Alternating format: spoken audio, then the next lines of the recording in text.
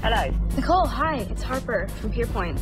That option idea we talked about? It was a fun night. Let's go for it in half a yard. Rishi. Rishi. Rishi, I said your fucking name, dude. Can you price that option idea we talked about? Half yard? No way. It's winnier than the fucking lottery. And how the hell have you got someone to buy an option on treasury yields hitting 4%?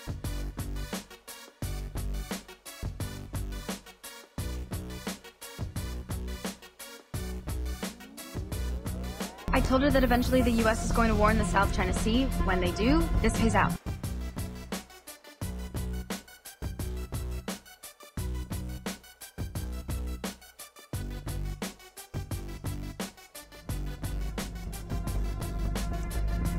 Alright, can do it in half her amount. Nicole, can we do half?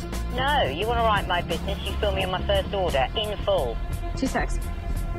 Need it in full. Can you help? No fucking way, I can't price it without losing money. That's half a billion. The client will not hear no, and I'm not interested in that either. Offers five beeps. Offers five basis points. Too high. I'll pay four cents and up to two fifty. Work the balance for you. Can't do five. Four, please. They're paying for your idea. Make them fucking pay. Four cents.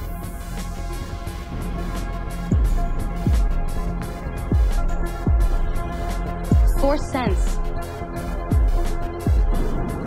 Because I'm excellent, four cents.